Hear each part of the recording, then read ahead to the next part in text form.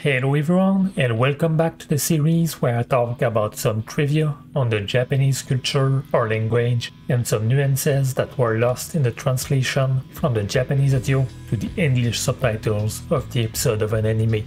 In this case for the 12th episode of Chainsaw Man. In the flashback with Himeno trying to give a cigarette to Aki, but realizing that he is underage, she says that she will keep it until he's ready to develop an addiction.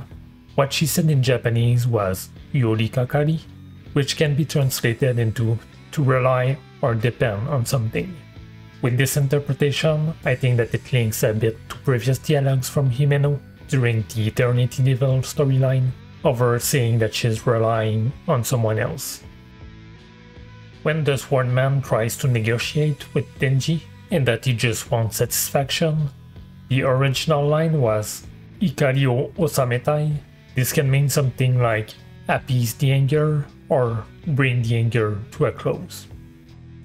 On top of the train, Denji described two persons that he has to deal with in his life that are most likely Aki and Power. Translated into Anag nag and a brat, it came from Kuchirusai, literally noisy mouth, and Wagamama, selfish. This is a pretty common way of saying this, but when Denji says that the sword man is a loser, the expression used is makeinu, literally losing dog.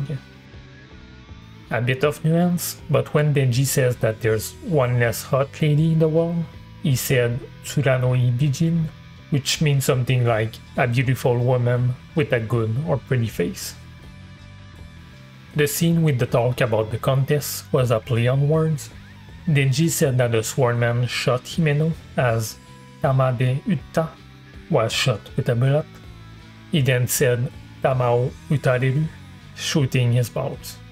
In Japanese, Tama in general means a ball or sphere, but is also used for a bullet.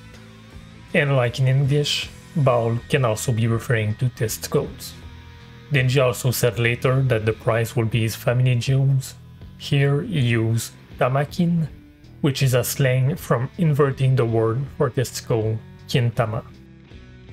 We also got the given name of Sawatari in this episode, being Akane. In the Japanese subtitles, it was written in katakana, but this could be Akane, the name of a plant species, madder, which is known for their red roots that can be used as a dye.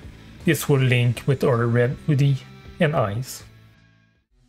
That's all for this episode and the first season or part of Chainsaw Man. If you like that series of videos, you know what to do. Like this video to let me and YouTube know if you want more of those type of videos. Comment about the thing that you found the most interesting or surprising and also on what other series you would like me to cover next. And of course, subscribe if you want to have more chance seeing when I upload more stuff. Anyway, it's the end of this video, and I'll see you next time.